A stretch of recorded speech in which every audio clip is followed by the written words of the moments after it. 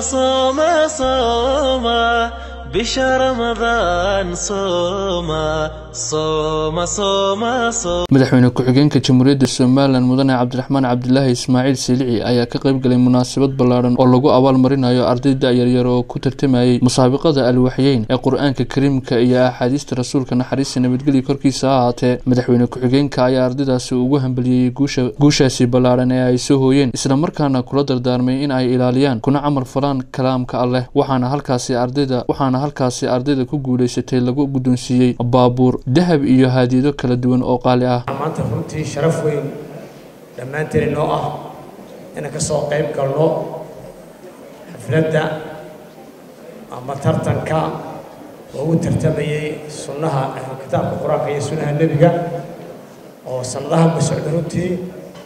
oo ah tartan aada iyo aada u qiimo badan oo daayartu ay ku tartamayso qur'aankii kariimkahaa iyo sunnihii nebiga calayh salatu salaam waxaa lagu tartamo waxa ugu qiimo badan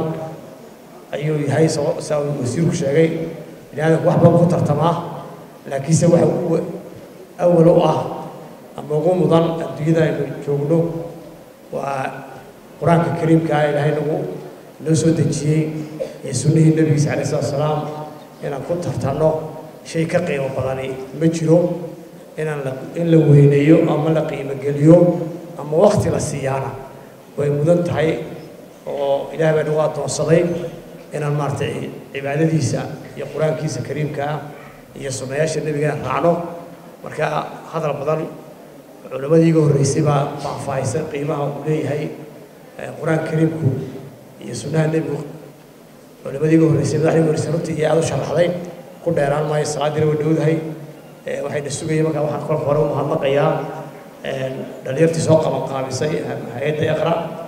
iyo intii ka taageertayba in xafladdani suuro gasho iyo culimmada u haysay xakamka u haysay ee dhalinyarta soo kala saartay sida cadaaladda intay cadaalad samayn kareen u sameeyey inay tartankaasi u kala saaraan habliyaynamo iyagana aada iyo aad baa runtii ugu mahadnaqayaa kariin sofi telefishinka caalamiga baddaas magaalada hargeysa